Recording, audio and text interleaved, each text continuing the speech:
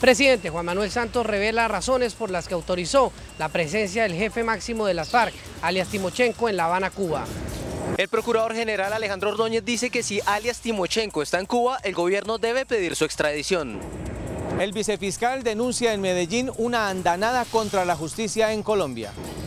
Autoridades de salud tienen listo el protocolo de aislamiento y atención médica para los casos sospechosos de ébola que se puedan presentar en Colombia. Colombia marca la diferencia en el segundo tiempo y gana contundentemente a El Salvador. Eliminatorias para Eurocopa. Ganan Italia y Holanda. Uruguay empata con Arabia y Paraguay pierde con Corea en amistosos. Es Bogotá una capital mundial del servicio a domicilio. Lo hablaremos al final de la emisión. Buenas noches. Estos son nuestros temas de hoy. 1. Las oraciones de la directora de Bienestar Familiar.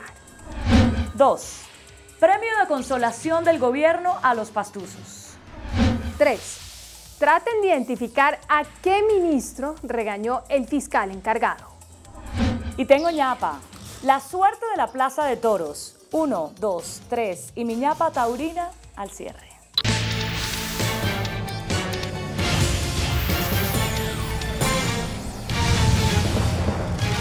Buenas noches. El presidente Juan Manuel Santos aprovechó la clausura del Congreso de las aseguradoras que se llevó a cabo en Cartagena para explicar las razones por las cuales autorizó que el jefe máximo de las FARC, Rodrigo Londoño, alias Timochenko, viajara a La Habana. El mandatario también dijo que el gobierno adelanta un estudio serio y responsable sobre la posibilidad de una reforma pensional. Durante la clausura del Congreso de las Aseguradoras en Cartagena, el presidente de la República expuso sus razones para autorizar la presencia del máximo jefe de las FARC, alias Timochenko, en La Habana, Cuba. Sí, yo autoricé que Timochenko fuera a Cuba. ¿Por qué lo autoricé? Pues porque es que estamos en una, en una negociación y que así como mis negociadores tienen que ir al Palacio de Nariño a consultarme, mire, estamos en este punto, yo puedo aceptar esto, no puedo aceptar, yo digo, acepte esto, no acepte eso, porque es un, es un seguimiento diario. La contraparte también tiene que consultar sus decisiones y para que no se demoren cuatro meses en consultar cada decisión, pues sí, yo he autorizado dos veces al señor este Timochenko a que vaya, a que resuelvan los problemas que a mí me interesan que resuelvan rápido. Es parte del proceso normal. Santos le dijo a este gremio que el mejor seguro para la nación es la paz. Yo diría que tal vez el seguro más importante que puede uno comprar como país es un seguro contra la guerra, que es la paz. Es el seguro más importante que puede uno tener como nación, como ciudadano. Entonces quise eh, venir más bien a, a contarles un poco cómo hemos venido comprando ese seguro. Santos también anunció que se estudia una reforma pensional en el país. Comenzar a un estudio a fondo de nuestra posibilidad de una reforma pensional y pusimos a cargo de ese estudio al BID y a la OCDE y el que lo va a dirigir personalmente va a ser Santiago Levi, que es el vicepresidente del BID, tal vez una de las personas en América Latina que más conoce este tema. Santos se disculpó con el gremio asegurador por ahondar más en el tema de la paz que en asuntos económicos y justificó su intervención basado en que el gobierno ha detectado que hay una gran ignorancia en el país en torno a lo que se está dialogando en Cuba. Por su parte, el procurador general Alejandro Ordóñez dijo que si el jefe guerrillero de las FARC, alias Timochenko, está en Cuba, el gobierno debe pedir su extradición. El jefe del Ministerio Público no descartó eventuales investigaciones disciplinarias por este hecho. El procurador general Alejandro Ordóñez dice que alias Timochenko no podía salir hacia Cuba porque sobre él pesan varias órdenes de captura y también algunas condenas en su contra. Además sostuvo que le tienen compartimentada la información al Ministerio de Defensa y a las fuerzas militares. A espaldas del ministro de Defensa, quien es quien tiene el manejo de los organismos de seguridad. Indicó que se debe proceder con la detención de alias Timochenko. Si el gobierno nacional sabe de la presencia del señor Timochenko en Cuba, debe pedir su extradición. No descartó que se adelanten investigaciones disciplinarias. Eso indudablemente es un escándalo institucional. En un foro sobre el proceso de paz y el derecho internacional en la Universidad de La Sabana reiteró sus críticas a las penas alternativas. Son penas proporcionales.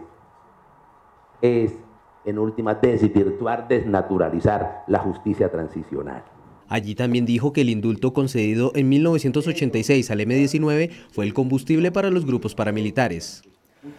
Dos excomisionados de paz, Camilo Gómez y Carlos Olmes Trujillo, pidieron al gobierno que aclare si alias Timochenko se trasladó a Cuba desde territorio colombiano o estaba en un país vecino, porque creen que puede haber ilegalidad en este movimiento. Los excomisionados de paz Camilo Gómez del gobierno de Pastrana y Carlos Olmes Trujillo del gobierno de Samper admiten que la presencia de los jefes de la guerrilla es necesaria, pero debe hacerse en el marco legal del país. El problema no es que esté en La Habana, finalmente el proceso de paz se hace con los guerrilleros y si se hace con ellos, pues ellos tienen que estar ahí. El problema es las reglas de juego que se establecieron. Si, si no hay cese de fuegos, pues mientras no esté en La Habana y mientras no sea vocero, la obligación del Estado colombiano es perseguirlo. Ese es el problema, cómo llegó y si se cumplieron todos los requisitos que están establecidos en la ley. Es que para eso se expiden las leyes que permitan poner en marcha procesos de paz. Los dos excomisionados creen que el ministro de Defensa hizo bien al revelar los viajes de Timochenko. A su turno, el ministro del Interior, Juan Fernando Cristo, explicó a través de una declaración que los viajes de alias Timochenko a La Habana se dieron en medio de las negociaciones entre el gobierno y las FARC y señaló que están enmarcadas dentro de la Constitución y la ley. Sobre los viajes de Timochenko a La Habana, Cristo explicó que las negociaciones de paz se desarrollan legalmente pero con discreción. Las negociaciones que el gobierno nacional adelanta con las FARC están enmarcadas dentro de la Constitución y la ley y se desarrollan con la discreción establecida dentro de las reglas de juego acordadas desde el primer momento.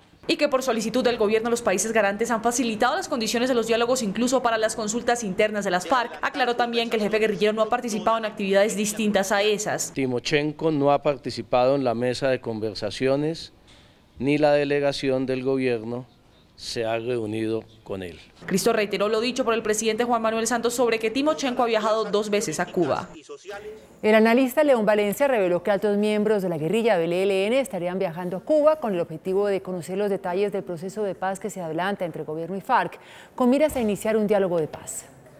Valencia dijo que se reunieron hace dos meses y medio las dos delegaciones y que eventualmente también en esa reunión estuvieron Timochenko y Gavino. En realidad el ELN y las FARC se reunieron durante varios días en La Habana. ¿Para qué? Para que las FARC le informara en detalle cómo iban sus negociaciones con el gobierno nacional. Eh, esto tenía el propósito de saber eh, cómo eh, el ELN abordaba sus propias negociaciones. También se refirió a los viajes de Timochenko a Cuba. Dijo que es indispensable porque esta paz se necesita hacerla con todas las FARC y bajo la conducción del jefe máximo, donde hay una necesidad de esas consultas.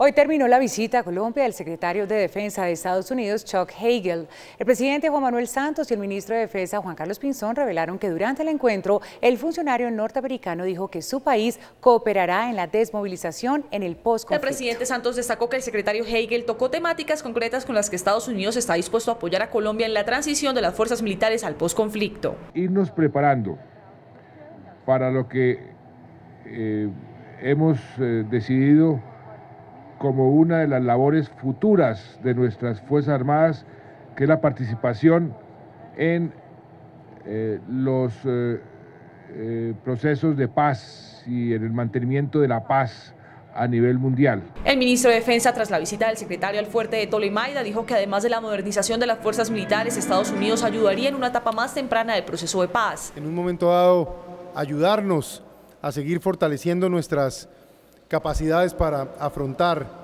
todos los retos de seguridad, todos los retos de control territorial y, por qué no decirlo, aquello que tenga que ver con los esfuerzos de desmovilización y reintegración que se presenten en el futuro. Durante el encuentro con el secretario de Defensa también se discutió que Colombia pueda contribuir con el entrenamiento militar a las misiones de paz de la ONU.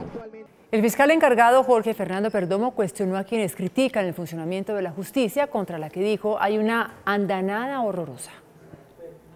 El funcionario defendía ante un auditorio de estudiantes de Derecho en Medellín el principio de oportunidad y el sistema de justicia en Colombia. Dice que pese a sus errores es bueno, sin embargo asegura, la justicia colombiana es víctima de ataques indiscriminados. Vivir mejor unos con otros. Lo que nosotros estamos viendo últimamente en Colombia, ustedes lo han percibido y el señor fiscal general lo ha dicho claro y de forma contundente es una andanada horrorosa contra la justicia. Dice además que es buena la crítica, pero con sentido constructivo. Pero lo que no podemos hacer es que nosotros hagamos decaer el sentido de la justicia en la sociedad, porque es lo único que tenemos para seguir viviendo en paz y para en el momento en que haya una solución pacífica al conflicto poder vivir mejor a futuro. Advierte que legitimar la justicia es necesario para enfrentar el postconflicto que tendrá seguramente muchos guerrilleros desmovilizados integrados en bandas criminales. El ministro de Salud, Alejandro Gaviria, anunció el protocolo de seguridad que adoptó el país para prevenir la llegada del virus del ébola. Aplicando el protocolo de seguridad, Colombia ya ha analizado a dos connacionales que estuvieron en los países africanos con brotes de ébola.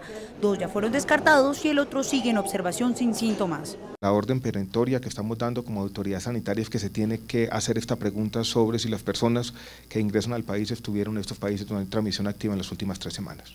Las autoridades encontraron que esta pregunta no se estaba haciendo a todas las personas que ingresan al país, por eso piden estricto cumplimiento junto con las medidas de atención en casos sospechosos. Si hay fiebre positiva, por ejemplo, la persona debe entrar inmediatamente, ser derivada a través del CRUE de la respectiva ciudad hacia un centro de los centros de referencia que tenemos identificados. Pese al bajo tránsito de viajeros desde África, seguirán los controles al visado. Internamente ya están capacitando al personal y comprando los equipos. 33 en Bogotá y algunos ya distribuidos en las regiones que van a estar en aquellas instituciones hospitalarias con condiciones adecuadas de aislamiento. El ébola no se transmite por aire, agua ni alimentos, solo por el contacto de fluidos corporales.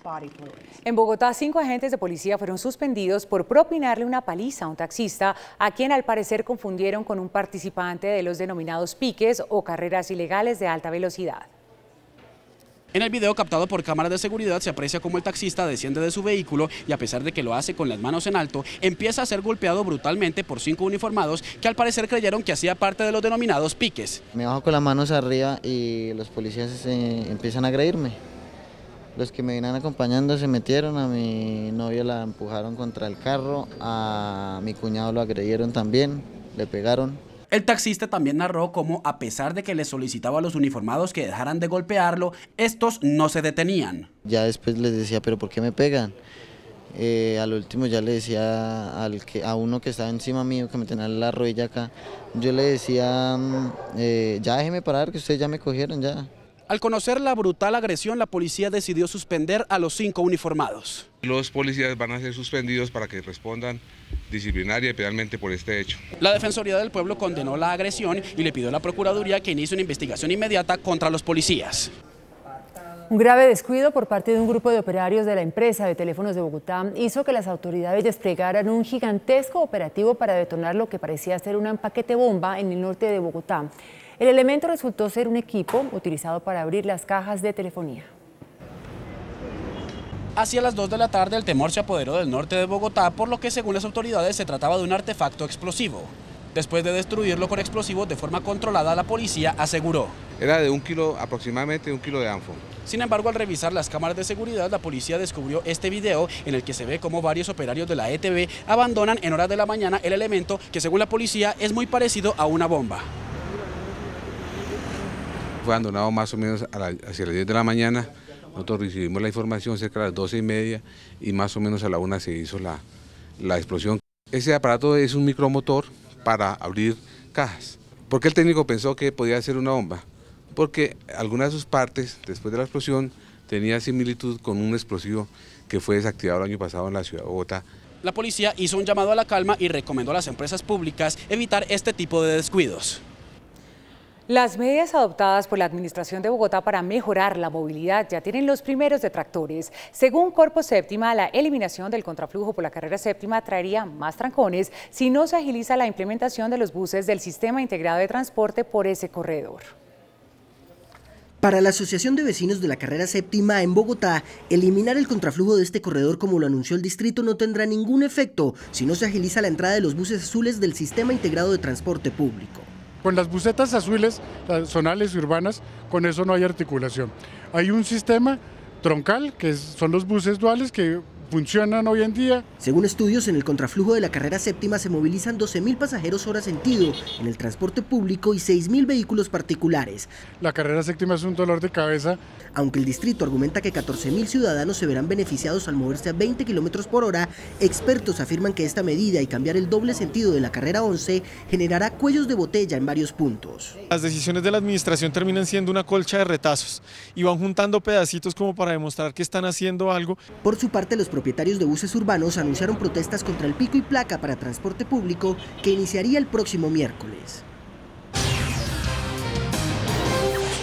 El futuro que nos inspira es Colombia. Por eso en Ecopetrol trabajamos para producir barriles limpios. Ecopetrol presenta la sección económica. El viceministro de Hacienda, Andrés Escobar, sostuvo que el decreto que declaró paraíso fiscal a Panamá se mantendrá hasta que se llegue a un acuerdo con el vecino país para intercambio de información financiera. Sin embargo, señaló que ya están acordadas una serie de reuniones para solucionar la crisis generada con el vecino país. Avanzan los diálogos entre los gobiernos de Colombia y Panamá tras la declaratoria de paraíso fiscal al vecino país. Se espera que el resultado de las negociaciones sea el acuerdo del intercambio de información fiscal. Lo que debe salir de estas conversaciones es eh, el, la necesidad del intercambio de información eh, financiera con Panamá. Entonces, eh, el gobierno ya lo ha dicho varias veces, la bola está en la cancha de Panamá. La decisión de Colombia es mantener el decreto que incluye a Panamá en la lista de paraísos hasta llegar a, a un acuerdo. Que el decreto continuará hasta que se llegue a un acuerdo sobre el intercambio de información. El viceministro hizo referencia a Barbados, incluido en la lista, pero con quien ya se está llegando a un acuerdo que le representará salir inmediatamente de dicha lista. Hay una nación con la que hemos estado avanzando bastante, que es Barbados. Estamos muy cerca de terminar eh, la negociación. La próxima semana se formalizarán las reuniones entre los gobiernos de Panamá y Colombia. Sea más productivo con el 123, el plan que puedes compartir teniendo control, flexibilidad y ahorro.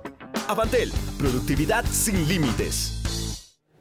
La producción de crudo en Colombia alcanzó los 993 mil barriles por día en el mes de septiembre, de acuerdo con el Ministerio de Minas y Energía. Sin embargo, la cifra registrada en dicho periodo es menor en 0.6% frente al mismo periodo del año anterior. El gobierno espera que continúe la recuperación de la producción petrolera para lo que resta del año con la entrada en operación del campo Juepe en los llanos. El índice de capitalización de la bolsa cerró a la baja.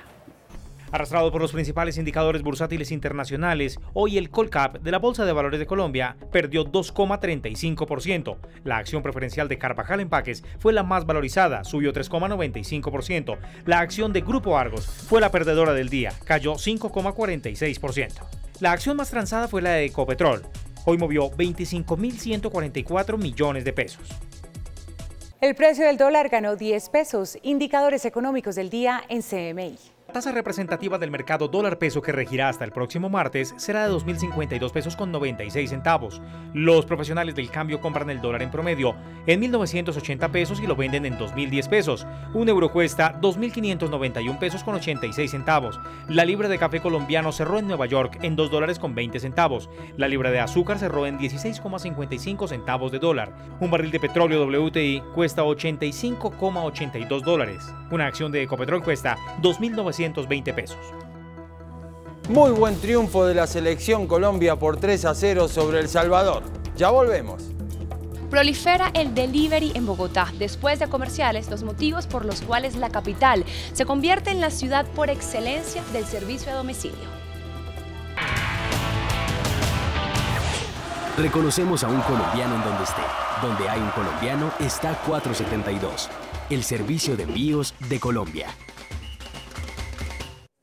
¿Qué tal? Muy buenas noches y muy buena presentación de la Selección Colombia. Mostró seriedad ante un rival, un rival débil. Buen debut de los jugadores nuevos. Estadio de los Red Bull en Nueva York. Radamel Falcao, capitán de la Selección Colombia. Peckerman ensayó varios cambios. Pedrito Franco, Eder Balanta, Carbonero. Este es el primer gol.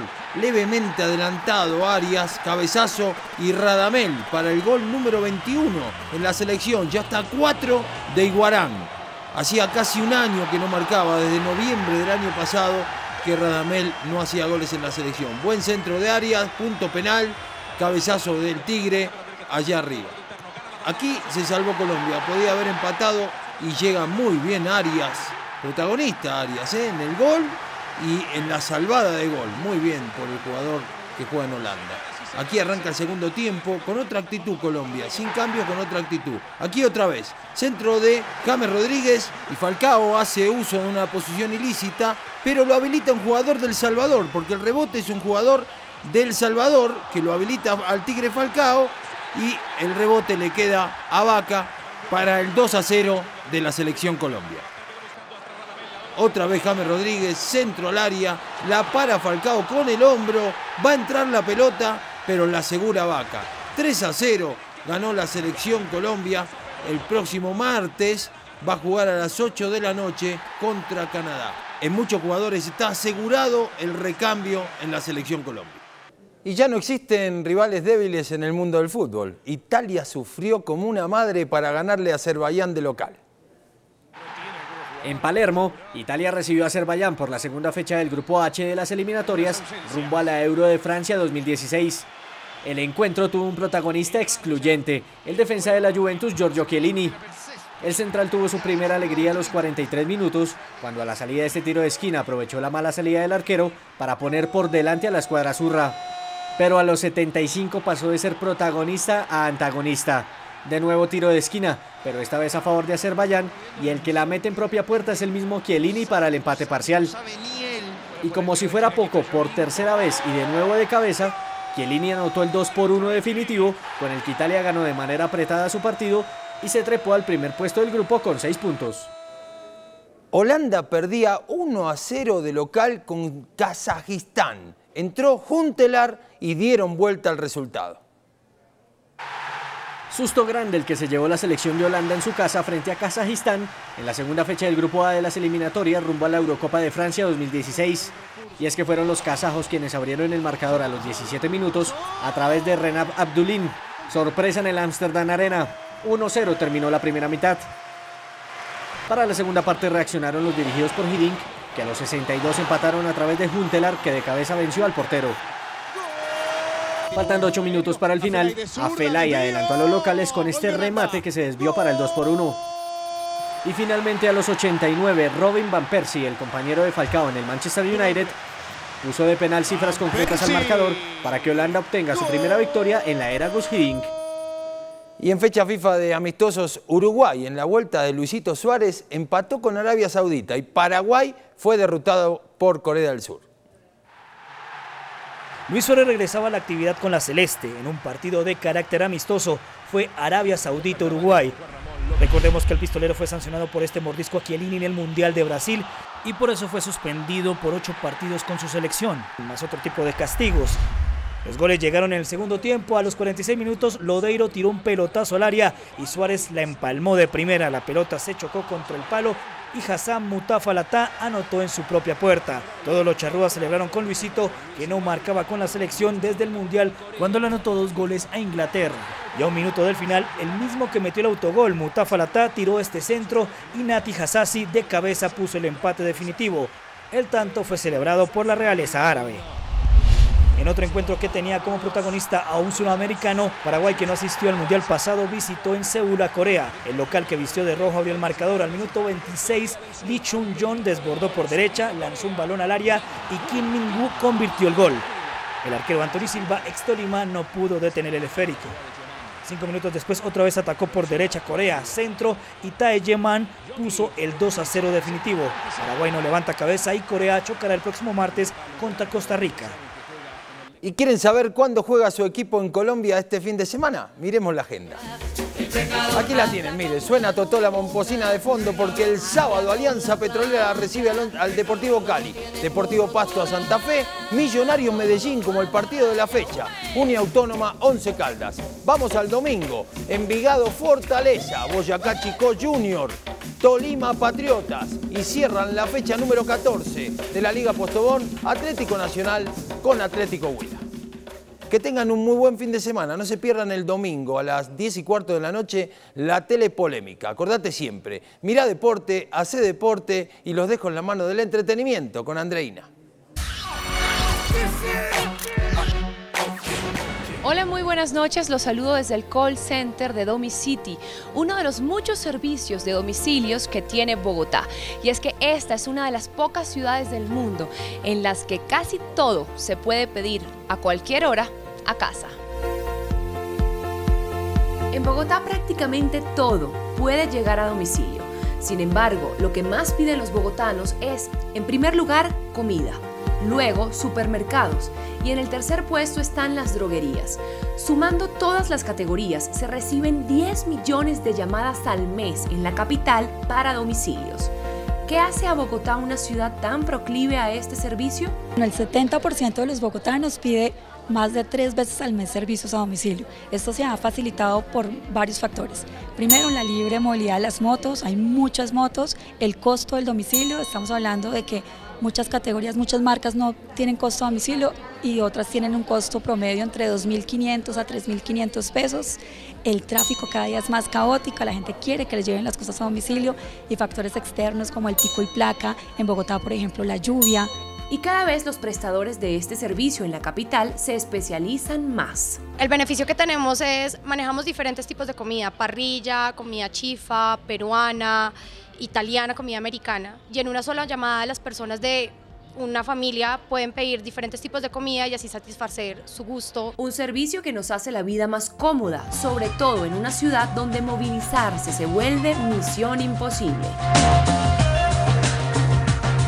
Mañana Hip Hop al Parque llega a la mayoría de edad y para comenzar a calentar motores, hoy algunos artistas que eran parte de este encuentro dieron un abrebocas. Hip Hop al Parque cumple 18 años y por primera vez celebra en tres días la cultura urbana, a la que pertenecen alrededor de 900 mil jóvenes en Bogotá.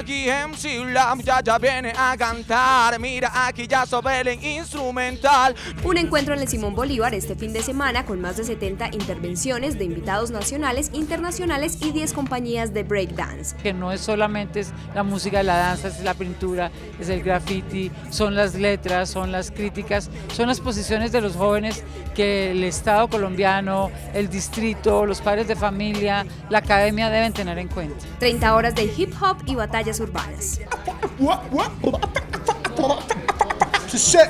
el canal, papá.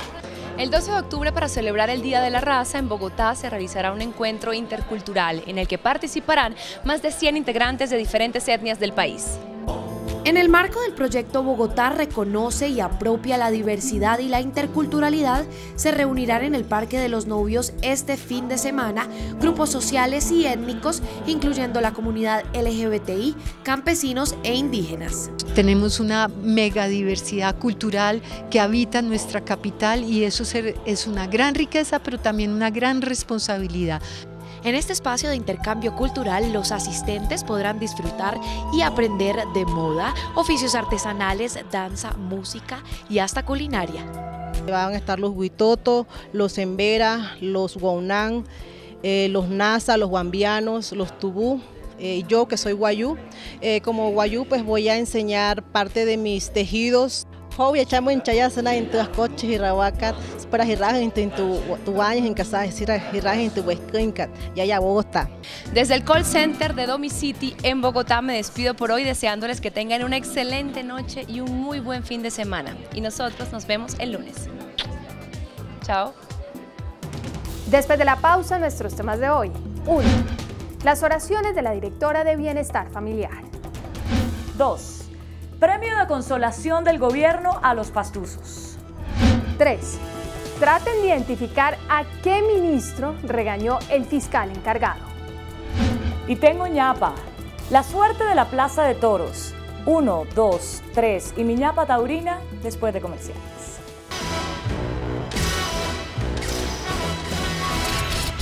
Estos son nuestros temas de hoy. 1. La directora del Instituto Colombiano de Bienestar Familiar Cristina Plazas decidió acudir a la oración para concientizar a sus funcionarios sobre la necesidad de prevenir y denunciar cualquier acto de corrupción en la entidad. En un encuentro con los 32 directores regionales del instituto, sorprendió a los asistentes invitándolos a repetir una oración. Yo me comprometo, Dios, a aprovechar esta oportunidad divina que me has dado Voy a cambiar el mundo. Voy a cambiar el mundo. Garantizando, garantizando los derechos de los niños, niños y adolescentes de mi país. Los derechos de los niños, niños y adolescentes de mi país. Gracias Dios. Gracias Dios. Por darnos esta oportunidad. Por darnos esta oportunidad. No te vamos a defraudar. No te vamos a defraudar. Amén. Amén. Bravo, directora, por la devoción. Ahora repita conmigo. A Dios rogando y con el mazo dando. En el nombre del Padre, del Hijo, del Espíritu Santo. Amén. Con el mazo, Cristina. Con el mazo. 2. Premio de consolación para los pastuzos. Cuando el presidente Santos inició su segundo mandato, se habló del inminente nombramiento del pastuso Álvaro Villota como nuevo Minvivienda, entidad que cuenta con casi 3 billones de pesos para inversión. Su nombre tomó fuerza gracias a la tarea que cumplió cuando estuvo al frente del Fondo Nacional de Ahorro. Al final, el ministro Felipe Nao fue confirmado en el cargo. Los pastuzos no se quedaron quietos a pesar de la volteada del senador de Nariño, Enríquez Maya, quien dejó de ser santista para apoyar a Oscar Iván Zuluaga.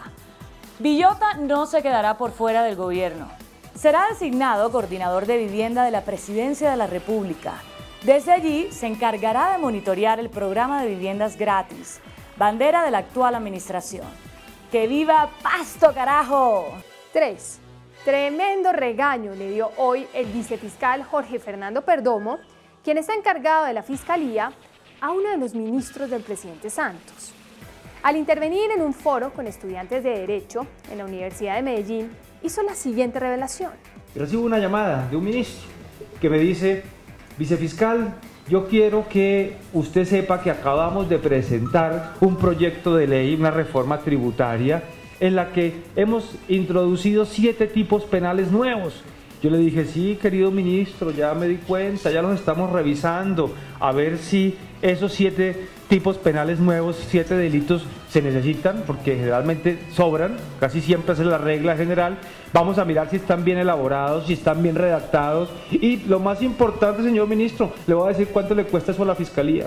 Porque esos siete tipos penales pueden costarle 200 mil millones de pesos al año a la fiscalía. Porque necesitamos más fiscales para investigarlos, una nueva infraestructura, capacitación en temas tan importantes como son los, los temas tributarios, que son súper complejos y se quedó el ministro y me dijo, ay, pero, pero, pero vicefiscal, no se ponga así. Le dije, no, ministro, es que ustedes cuando dicen como políticos, como gobierno, que quieren hacer algo por el país, como no tienen otra forma de hacer, porque no saben cómo hacerlo, crean tipos penales. ¿Y el problema para quién es? Para la justicia. El problema es para los jueces. El problema es para la fiscalía. ¿Quién fue el ministro regañado? Tengo ñapa. La Administración de Bogotá decidió acelerar las obras de reforzamiento estructural de la Plaza de Toros La Santa María. Ante una curaduría, la Administración radicó hoy, con carácter de urgencia, la solicitud de licencia para adelantar las obras y alista publicación de los prepliegos para adjudicar los trabajos que estarán disponibles para sugerencias la próxima semana. La plaza será sometida a un reforzamiento con pantallas de concreto y se sustituirán las estructuras de los palcos. El asunto es que magistrados de la Corte Constitucional le advirtieron hoy al alcalde que la sentencia de tutela que dictó ese tribunal no se ocupó de examinar la incidencia de las obras de reforzamiento estructural de la plaza, porque ese no fue el problema jurídico. La sentencia examinó si el alcalde tenía facultad para impedir que en la Santa María se celebraran corridas de toros, y el fallo fue claro. No tenía competencia para hacerlo. El alcalde no puede impedir las corridas de toros en la forma en que se establece en la Ley 916 de 2004. Los magistrados de la Corte reconocen que el alcalde puede ejercer funciones de policía como reforzamiento de la infraestructura general, pero no desnaturalizar el inmueble como plaza de toros ni dilatar su reapertura.